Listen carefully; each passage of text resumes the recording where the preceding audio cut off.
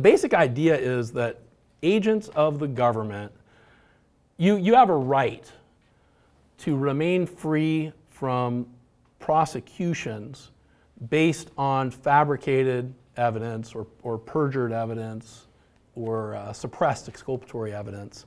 And then in Devereaux v. Abbey, as a companion case, Devereaux v. Perez, Perez was a cop, Devereaux v. Abbey, I think, was, or Perez, I think, was the detective, and Abbey was, you know, low, lower level cop, and then there were social workers involved. And what the, the Ninth Circuit said there, and this was in a concurring opinion in Devereaux v. Abbey, was that these same basic principles and rules apply with equal force to government social workers involved in child abuse investigations. So that's, that's where it starts. And then from there, it's progressed through Costanich all the way up to Hardwick. And the same concept now applies across the board. So if the foster parent is being attacked and accused in a court proceeding falsely, that right to remain free of prosecutions based on false information is intact for the foster uh, provider as well. Now, there's got to be an underlying um, right that's impaired by the attack. So, like, for example, a foster care license, that's an underlying property interest. They can't lie to get it taken away from you. An established guardianship, that uh, gives rise to a whole bunch of quasi parental rights that they can't attack and take away from you based on false evidence. So, I think that answers the question. Um, yeah. Ninth Circuit, and they send the case back here. I've been in Ninth Circuit twice, in addition to section. I get back here and I get farted out of here, so to speak. I'm not kidding, I, and, you know, because I read your Hardwick one in 2013. And, um, 2017. So I'm back here again, and do I have to keep rewriting it? If they found, and I said, Um, I had claims, I'm just like, I don't know, I would have to see the specific yeah, I have them here. I won twice. And I'm not, maybe at a break we can take a, a look at it, but just, just so that, yeah, just so that, I, I understand that. I can't answer a specific question without seeing the briefing, the document, the order, whatever it is that, you know, is causing you the issue. Um, what I can tell everybody here, and don't be offended or anything by this, I'm not here to get new work or to get new cases or any of that. That that's not the reason I'm doing this stuff. And Dell, Dell knows this. That's why he set, sets these things up or helps set them up. Is I, I'm here because there's a serious problem in the way our system operates, and nobody is really doing a lot to fight it out. You know, in, in California, there's only like 10 of us that even do this work or, or will touch this work. And that's one of the reasons that it's taken so long, you know, 20 years. You have to lit- people have to be out there litigating these cases, losing these cases, and getting them up in front of the Ninth Circuit to, to, to make that change that we all want. So the reason I'm doing these, these presentations, and I've done a bunch of them, is to try to encourage all of you, you know, attorneys that, that are interested or see the problem and want to try to do something to help, to change, to help people, to give you the tools or at least an introduction to the tools that we've used. Again, I'm not saying that I'm the be all end all, I, I don't know it. I know what's worked for me. Other stuff may work for you, and maybe I'm just your first point of departure for further research, further effort to build on what's already been done. So the reason I'm doing this stuff is because I want you guys out there fighting it out. It's part of the whole pain compliance strategy. I can't bring enough pain alone to make anything change. All right? It's the whole death by a thousand cuts thing. If I had a thousand of you guys out there litigating, oh my God, you would see bam, bam, bam. It wouldn't be 20 years to change. This is overnight. It's pain compliance. You got to bring pain, and that's why we're doing this thing here is to bring in and form up an army of people out there capable, interested, and willing to make the commitment to bring that pain to the government. And that's, that's why I'm here. So I'm, I'm not here for cases. On that, why don't we take a break? Um, so Yeah. the judicial deception, that applies from like the I'm, get I'm of the so- I'm case? sorry, I can't hear you. You speak Oh, up? um, the judicial deception, that applies to like the entirety of the case, right? Like, Yeah. Yeah, and your statute of limitations, it's, that's a good question actually, because your statute of limitations, remember, it's going to be two years from the bad event, right? Well, if you have a case that's ongoing for, and this is not uncommon, at least in California, where you have a case that's ongoing for sometimes years, and there's these reports being filed and things happening, and uh, yeah, maybe the initial deception happened three, four years ago, but they're currently still lying or propagating or, or re, um, you know, cutting and pasting, republishing the same lie. That two year statute runs from the last time they lied within the two year period. So you could conceivably have a judicial deception claim that goes on indefinitely as long as they keep lying about you indefinitely, which, which they oftentimes do. So, so, you know, just because you didn't catch them on the first lie within your two year statutory window doesn't mean that your judicial deception claim is dead if they kept on doing it, this continuing course of misconduct. On the seizure side of things, it's, it's different analysis. The moment of seizure is when the clock starts ticking. It's when you knew or should have known that your rights were violated, and you should have known that when they took your kid without a warrant. That clock starts ticking the moment they take your kid, and you've got two years. The child statute is 18, day they turn 18 plus two years on the seizure. Direct misrepresentations, again, this is from Kos- Costanich. It's, uh, you know, probably obvious. Direct misrepresentation about what the doctor said. You know, that, that's, you know, prima facie judicial deception. Um, the court in Costanich they actually laid it out. The misrepresentations about interviewing the children's doctors were especially significant. So when the social worker says, "Oh, I interviewed the doctors and those medical professions told me X, Y, Z," if they didn't do it, they're dead. Okay, social workers, like any other government agent, are required to correct and any dishonesty. We talked about this, or I alluded to this a little bit earlier is once they lie, they know they're lying, or once they omit, they know they're omitting, they have an affirmative obligation to go back and fix it, to correct it, to let the court know that there's a misstatement or you know misimpression in the record. Social workers, like any other government agent, are required to correct any dishonesty in the evidence and only elicit the truth.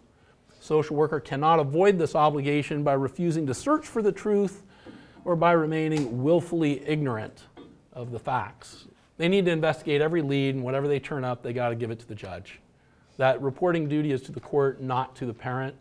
So when they don't report it to the court, it doesn't matter if the parent knew. What matters is the social worker did not meet their obligation to act as the neutral eyes and ears of the court and tell the court everything. Okay, based on injuries to dependent children. This is a new section to the um, presentation I normally do. May, mostly I used to stay out of these cases just because they, they look to me more like personal injury cases and that's, that's really not you know, what we're doing. It's not what it's all about. Um, but I've been getting a lot of inquiries from kids who were in foster care and aged out or you know from their parents where they were in foster care got injured and even from the court. I've been appointed now on three cases to investigate and prosecute social workers where children were injured in foster care because of a social worker's lack of diligence in administering services or in um, visiting, doing home visits, or in assessing appropriateness of placements. And all of this actually under the federal statutory contract, bleh, under the federal statutory construct they're required to do all these things under ASFA and CAPTA in order to get their funding. They have to go out and do home visits. They have to, you know, inform foster parents, parents, the court about what's going on with the kid in the foster home.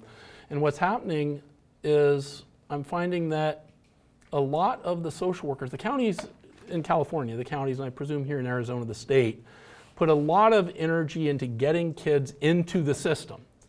And part of the reason for that, again, it's the federal funding scheme the, the, the matrix that drives the funding from the federal government is determined by the number of kids in the system at any particular point in time. Well, we know that government has a natural tendency, all, all, just on its own, all levels of government, not, not just CPS, But government has a natural tendency to continue to grow. Bureaucracies grow, they keep expanding, they build new buildings, they hire new people. So they need growing budgets, right? The only way you get the growing budget in this arena, the Child Protective Services arena, is by bringing more and more kids into the system. And their budgets, the, the way that it's determined, again, at least in the California counties, is on last year's basis. Last year is always the basis for this year's funding.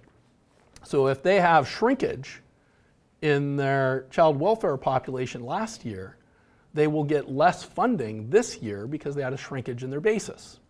So there, there's this sort of built in motivation to at least maintain the same number of kids this year as we had last year. Because at least we're going to maintain level funding.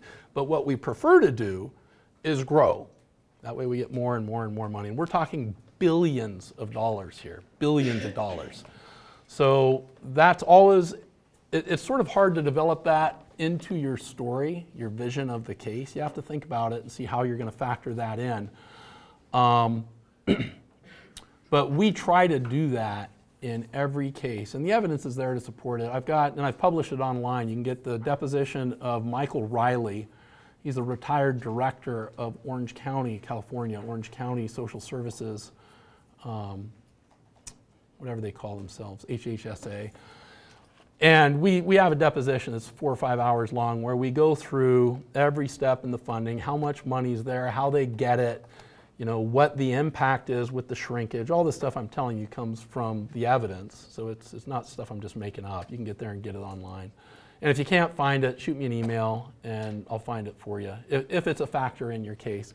But it, it's something, see, I always have this problem when I'm, when I'm putting together my story. I say, okay, this is a horrible thing that these social workers did. Horrible.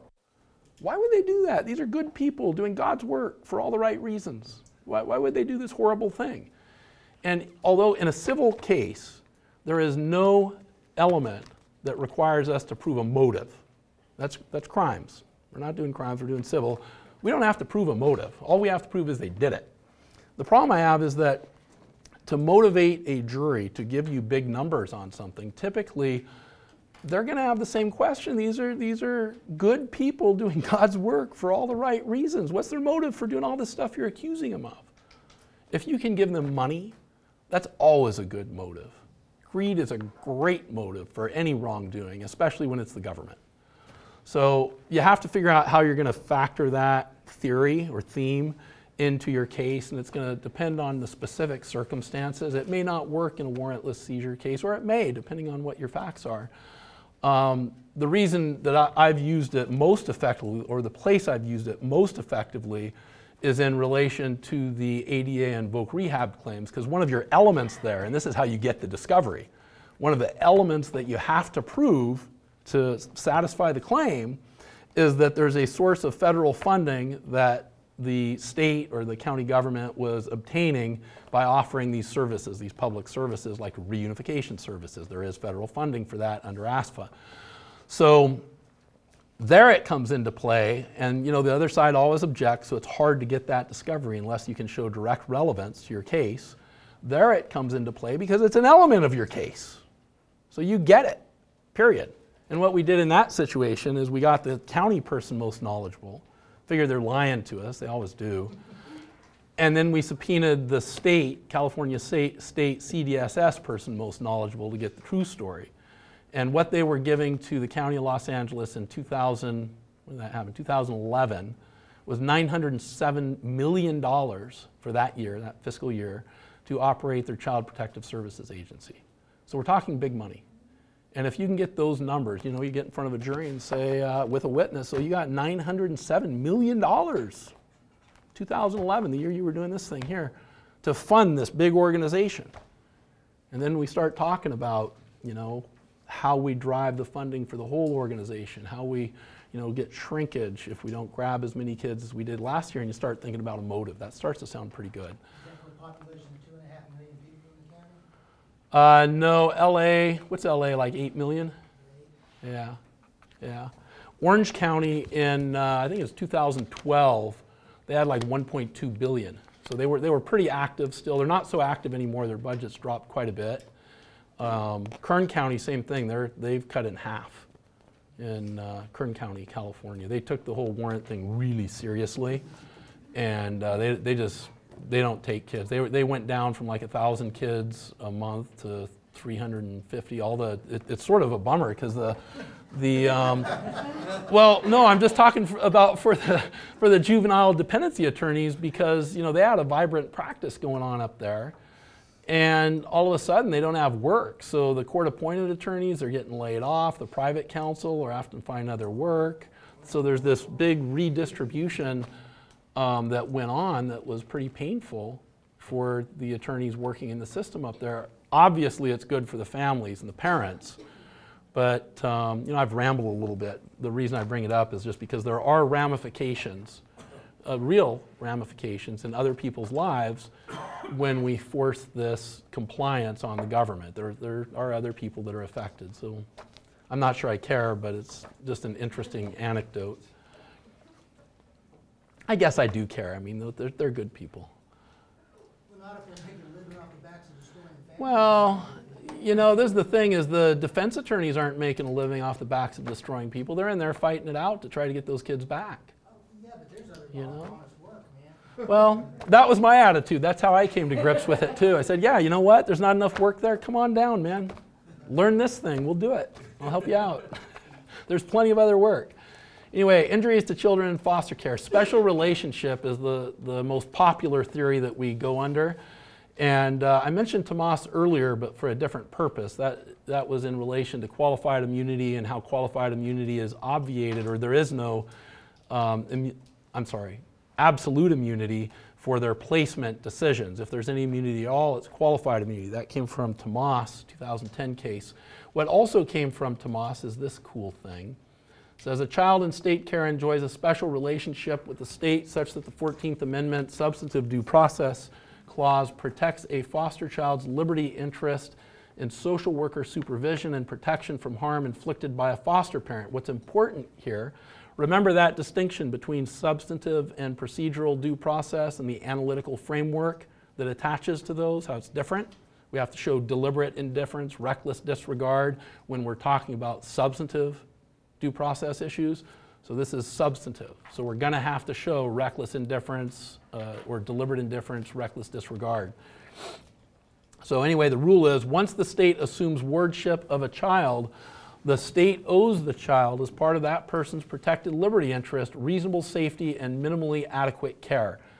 Now, I don't like the last part of that, minimally adequate care, so I never weave that into my depositions. When, I, when I'm going after a social worker on one of these claims, the part I get them to testify to is that, look, once you take a kid into custody, you owe that child, what is it, a duty to ensure their continued safety and security while they're in your care. They'll always, always say yes. Tamas is good because it gives us, you know, an inch closer to what we really want, but what we really want is the affirmative obligation to ensure the continued safety and security of the child. The social workers, because they've been prepped for the depo, and their mantra is, we're here to protect the child, we're here to protect the child, everything's about the child, safety of the child. They'll, they'll get in there, they'll say that. Say, okay. Um, so that's what your primary directive is. Make sure I'm understanding you clearly that you're, once you take a child into custody, once you seize the child, you pick up an affirmative obligation, that is a duty, to ensure the continued safety and security of that child while the child's in county care. They will always say yes. So now you've got another really cool jury instruction that's evidence. There's nothing the judge can do to, to keep that out. There's nothing the judge can do to you know, modify your jury instruction. That is the testimony. They've been trained on that. That's the policy. That's the testimony. Okay, now let's look at what you did with this kid. We know that you had the duty. It's affirmative obligation. I like that phrase, affirmative obligation. It means you actually have to go out and do something. You have this affirmative obligation. Let's look at what you did. And then you get into the soup. State can also be held liable under the 14th Amendment's Due Process Clause for failing to protect an in- individual from harm by third parties where the state action affirmatively, affirmatively places the plaintiff in a position of danger. That is, where the state created where state action creates or exposes an individual to a danger which he or she would not have otherwise faced. This is a foster care case. It's Henry uh, v. Willden. Uh, fairly new, 2012. I, I don't remember, it might have been uh, you guys that I, I told you about this case earlier, and it's one that you should go back and read because it relates to you know, foster care rights, rights of children in foster care. Um, and this is a state created danger exception, because normally, remember, we talked about this earlier, the state doesn't have an affirmative duty to go out and save you, protect you, treat you any specific way. You can call them and they can blow you off. There, there's no duty on the part of social workers, cops, anybody else to save you or to protect you. Okay, but where the social worker in this context, where the social worker creates a danger that either the foster parent or the parent or the child would not have otherwise faced, that's an exception to the general rule of qualified immunity in a 1983 case for the violation. It's a very narrow exception, but it does exist. It's an exception that's recognized the Ninth Circuit. The way, where we see this happening is in the foster care context. Have a foster provider, has kids, her own children, her own bio children, may- maybe an adoptive child also, in her home, has a pre-existing relationship with the county as a foster provider. County calls her up, says, "Hey, we've got these kids. Uh, can you come foster them?" She says, "Well, yeah. Tell me a little bit about them." "Oh, don't worry. They're great, great kids. Wonderful. No behavioral issues. No nothing. You'll you'll love them. They're great kids." So okay, well, I'll come down and meet them. Go down, meet them in a controlled environment at the county facility for half an hour or so. Talk to the social worker in charge a little bit. Oh, great kids, wonderful. No history. Well, where were they before? Oh, they were in a foster placement, but don't worry. Didn't have anything, no fault of theirs. It was an issue with the foster provider and we had to move them. So will you just take them? Oh, yeah, okay, sure. Turns out that uh, the older kid is a sexual predator who's been removed from two uh, prior adoptive placements for his sexual misdeeds and misconduct. Also, he has uh, violent outbursts, destructive tendencies, tears beds up, breaks doors, smears feces all over the walls, all kinds of things. It's all in the records. The agency knows all this. Don't disclose it to the foster mom. She takes this kid in and he rapes her kids. That's a state created danger. All right, they, they lied to her, they didn't disclose to her all of the issues with this kid that they were asking her to accept into her home, into her family, and expose to her children. Didn't tell her anything about all the bad stuff. And then predictably, you know, something bad happened. State created danger. It's uh, probably going to be a, a pretty vibrant developing area of the law in the next five years or so. I think there's going to be a lot of activity there. Because, like I was saying earlier, they're putting all this effort into getting more kids into the system.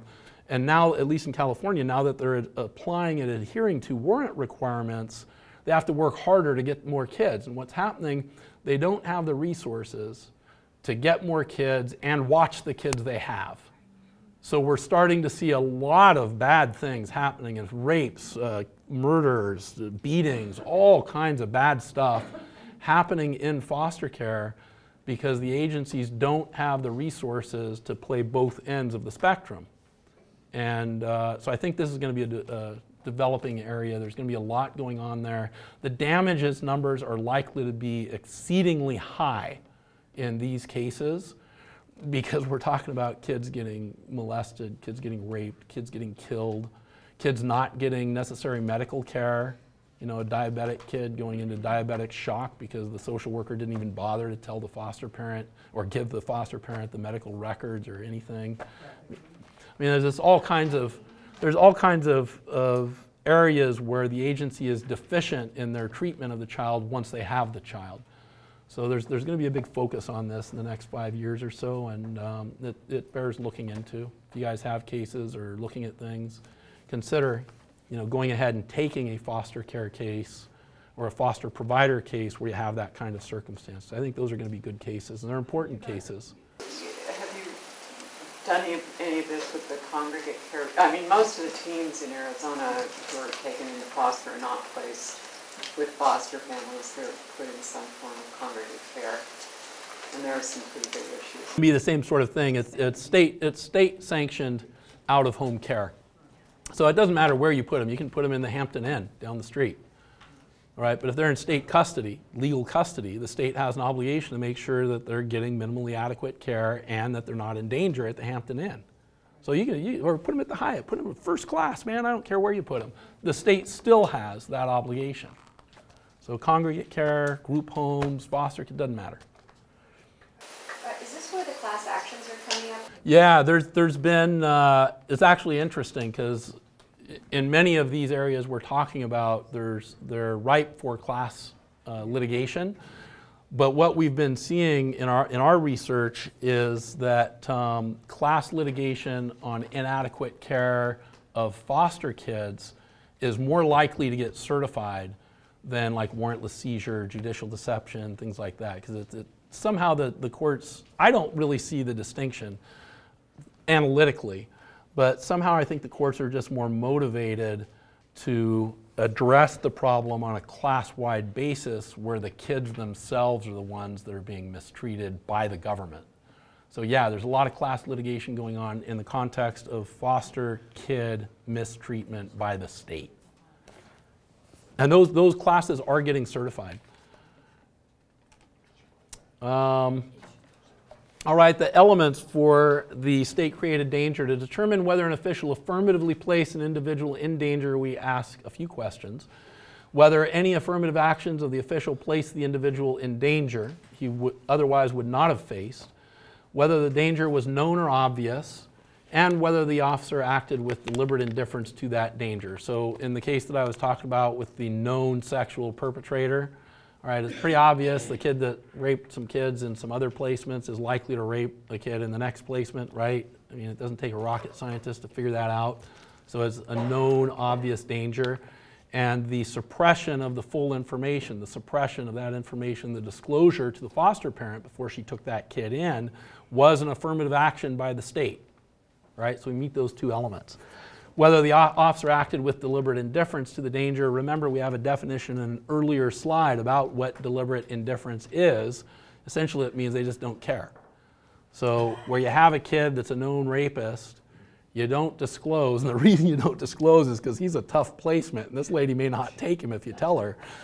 You're going to meet the deliberate indifference standard.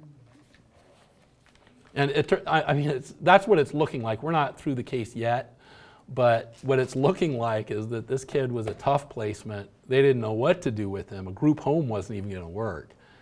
And so they thought, you know what, let's just get him out there and hope for the best. And, you know, the best was a bunch of kids got raped. Can a parent sue on that? Um, the parent of the, the parent of the raped kids can sue, and if to the extent one of those kids maybe is a foster kid, then conceivably the parent could sue. I would have to look at the theory of liability because the parent isn't injured there, and in that instance, the constitutional right to continued safety and security inures to the benefit of the child. So that may be an instance where you know that equal corollary right concept doesn't apply, but I haven't researched that issue, so I, I don't know. You'd have to look at that. Um, to trigger the danger creation exception, the plaintiff must prove that the state affirmatively placed plaintiff in a position of danger, or this is interesting, or effectively prevented plaintiff from protecting himself or prevented access to outside sources of help. Um, and again, deliberate indifference. Now, this second part effectively prevented the plaintiff from protecting himself. Uh, same case. Mom calls social worker, says, Hey, this kid just raped my youngest child. I'm going to go to the police and get this kid out of here. I, I just want him gone. Social worker says, Don't do that. Do not call the police. If you call the police, we're going to remove the, the sister, too, who she wants to adopt. We're going to remove everybody. We're going to report you. There's going to be a big investigation. Let us deal with it internally. So, and also challenge her license. Um, so mom is, oh, well, gee, um, all right. And so she takes internal to her home protective measures to, you know, isolate the kid, puts locks on the other kids' bedroom doors so that at night they can lock their doors, keep the perp out. Um, another month goes by, mom's calling the social worker, what's your progress? Nobody's investigating, there's nobody out here, what's happening? Kid rapes the second child. Mom goes back again, says, hey, I'm done with this. I, I want him out of my home. I'm going to the police today. social worker and supervisor call back, start leaning on mom and talking about licensure, getting her kids removed just so the whole thing gets investigated. Maybe there's something else going on with her own kids, all this stuff. So again, so okay, take some more measures, gets some other adult to stay in the home when she's not there, gets people to pick them up. She's doing all these things to try to protect her kids and still meet the directives she's being given by the government. Again, kid rapes another uh, child. At that point, she just had enough. Said, you know what, you guys can do whatever. And she called the social worker, and again, same threats. She says, you guys can do whatever you're going to do. Take my license, uh, take the, his sister, do whatever you're going to do. I don't care. And she drove the kid to the police. He admitted to everything, and the police took him. And she, she begged the police, said, hey, look, this is what the social workers are doing and telling me. Please help me keep this kid out of my house and away from my kids. And the cops, you know, they were great. And, and a lot of times you see, you know, I badmouth cops all the time. I'm, I'm one of the worst. But a lot of times when you see them step up and intervene and take care of this type of problem, you got to respect them. And the, the police here did exactly that. Said, don't worry, ma'am. We're, we're going to take him. And he's never going back to your home, whether he's in jail with us or with the county, in juvie, wherever he is, he's not going to be in your home. And that was, that was that. So state created danger, effectively prevented the plaintiff for, from protecting himself or pre- prevented access to outside sources of help. I think we meet both elements just based on the facts of the case, but you know, that stuff is out there. If you see that come up, I think those are good cases. Um, to establish deliberate indifference, we already know, know this. It's a little bit hinky in the context of a state created danger claim. There has to be an unusually serious risk of harm, defendant's actual knowledge of or at least willful blindness to that elevated risk, and defendant's failure to take obvious steps to address that known serious risk. In other words, the plaintiff must show defendant knows something is going to happen but ignores the risk and exposes someone to it. Uh, maybe these are not mutually exclusive theories of liability. Um, I think they're going to be, they can even be concurrent theories, right? You can have a situation where a child's in state custody is entitled to continued state safety and security, and then the state, say, puts a known child rapist in with that other foster child. That's going to be both state created danger and special relationship right? You're going to have both theories there, and both are equally viable. You're not going to get double damages. You only get one damage for the same injury, but you have two different theories, and I think that you could get positive verdicts on both concurrently.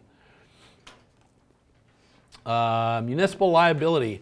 For you guys in Arizona, it, it's not such a critical issue unless you're, you know, going after the cops who were there to, uh, whatever, keep the peace. Um, For, for them, it's gonna matter, because you're always gonna end up going after the state or the county, depending on who the law enforcement agency was that sent the officer out, whether it's sheriffs or local police, whatever it is. Your uh, social service workers are all um, state employees, so you can sue them personally directly, you can't sue the state, that's new allowed minimum, so municipal liability, Monell will not apply. Where Monell may also come into play, besides with law enforcement, is where you have these private, uh, a good example is private medical facilities.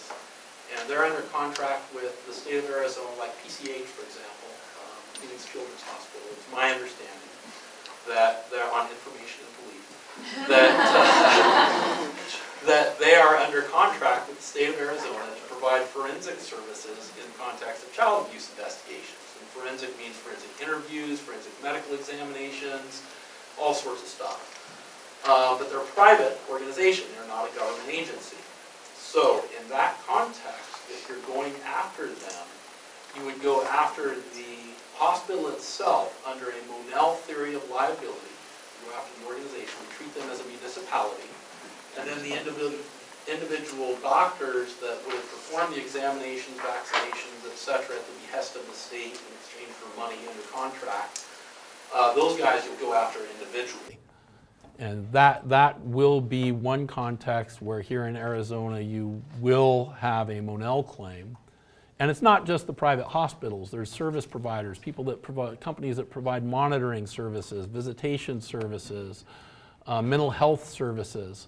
They're all private, they're all acting under contract with the government.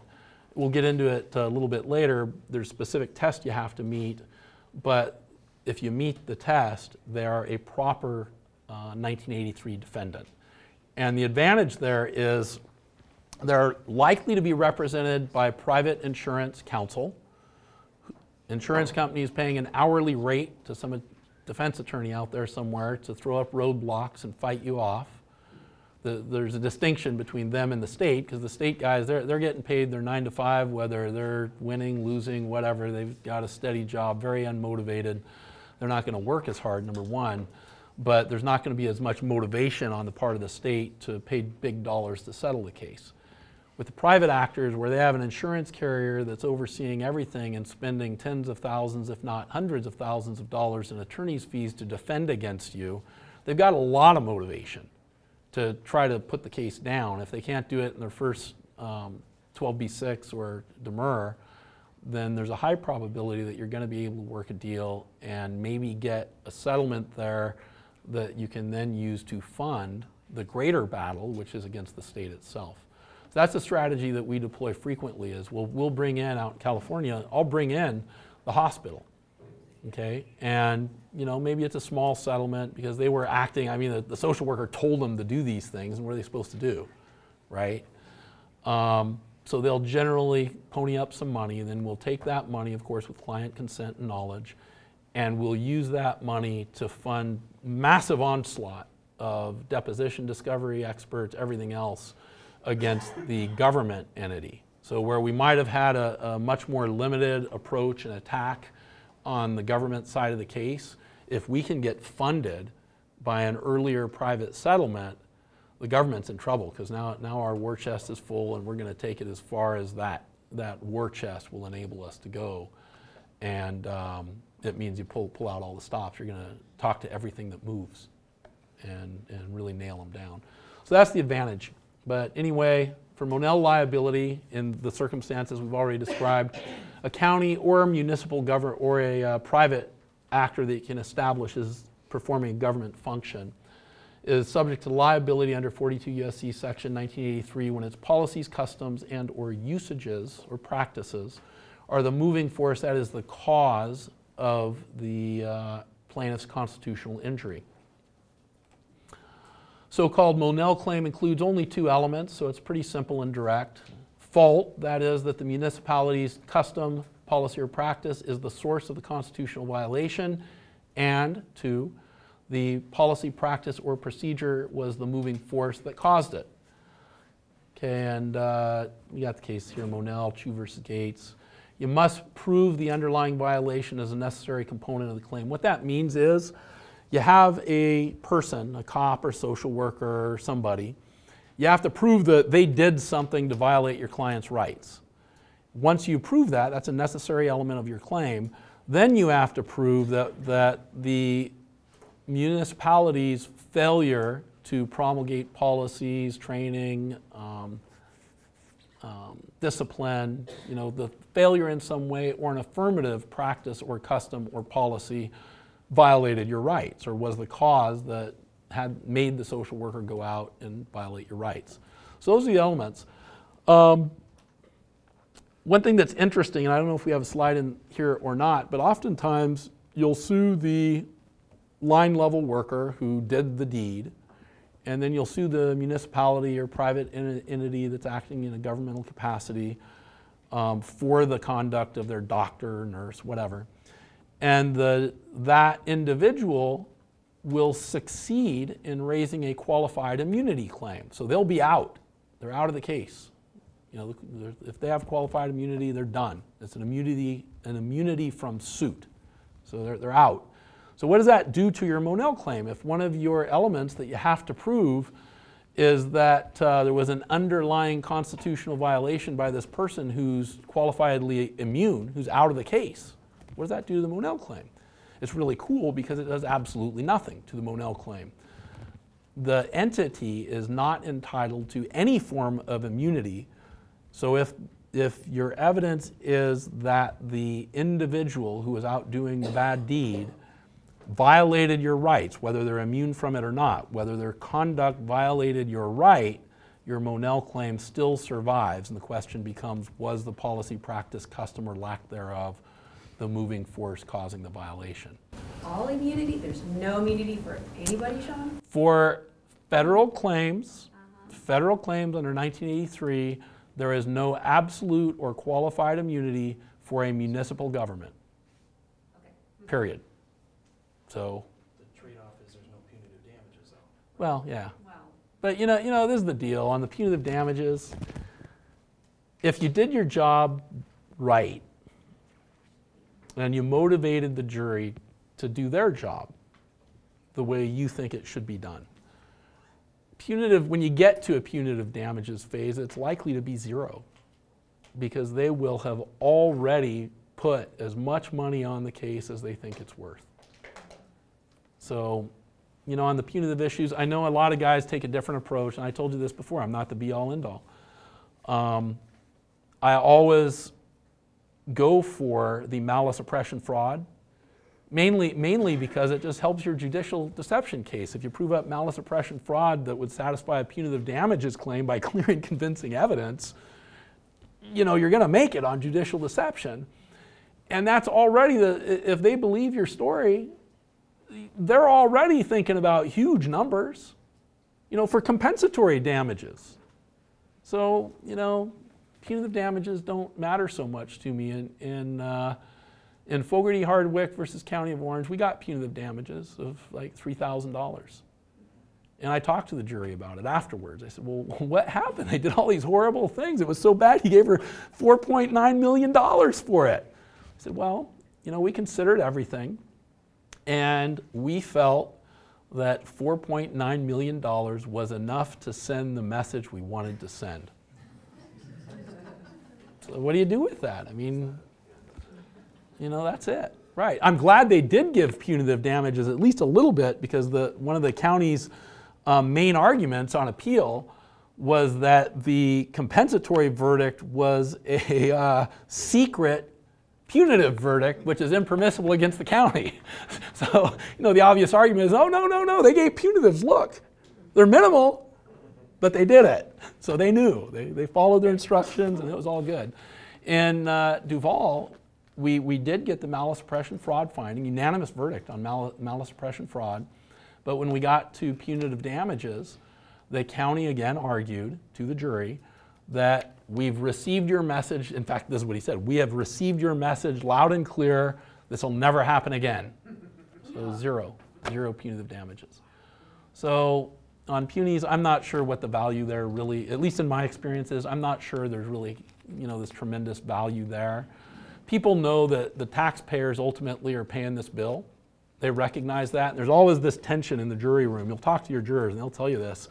They know that when the government's paying one of these judgments, their verdict, their judgment, ultimately they're the ones paying it. It's going to come out of their property taxes, their sales taxes, their gas taxes. Everything's going to have to go up because now we can't fix the roads because we have to pay out tens of millions of dollars in these, these cases. They know that. They're very savvy. People don't give them enough credit. So there's always this tension in the room about that. And that impacts their decision making on punitive damages too. And, it, and I would have to think it also impacts their decision making on the compensatory. They, everybody wants to compensate the plaintiff for the loss they've suffered in sufficient measure to satisfy their own conscience, right? So they're not going to go beyond that, especially where they're the ones paying the bill. So just, you know, you got to think about that kind of stuff.